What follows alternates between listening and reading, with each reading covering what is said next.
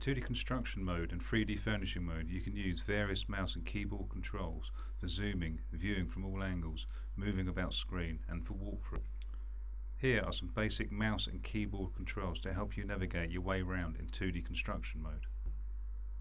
1. Hold down the right mouse button.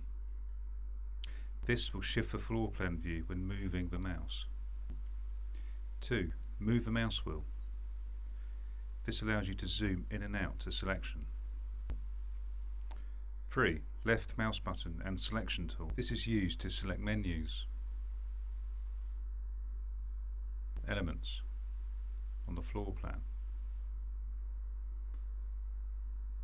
and tools. The selection tool can also be used for zooming by selecting this in the tool options.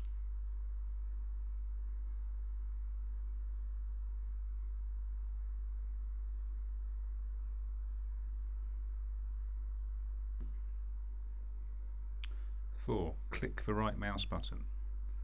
This allows you to open up the available context menu for that specific element. Here are some basic mouse and keyboard controls to help you navigate your way around in 3D furnishing mode.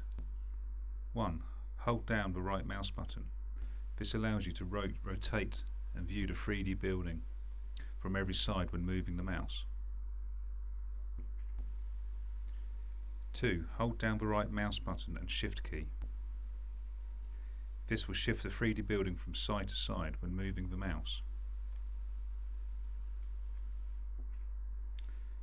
3. Hold down the right mouse button and control key. This will rotate the 3D building around a reference point when moving the mouse. 4. Move the mouse wheel. This allows you to zoom in and out to selection.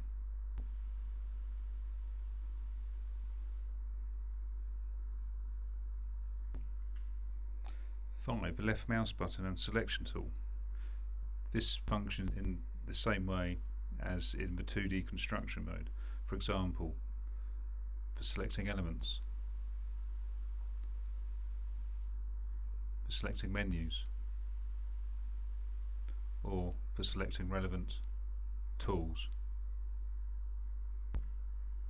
6. Right mouse button. This will open up the available context menus specific to that element.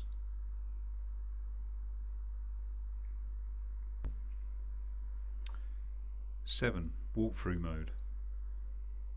Press down the left mouse button and move the mouse. You'll see that the icon will change depending on the direction that you're walking in. If you move the mouse towards the top of the screen, you'll speed up. If you hold down the shift key and move the mouse, you can increase the speed.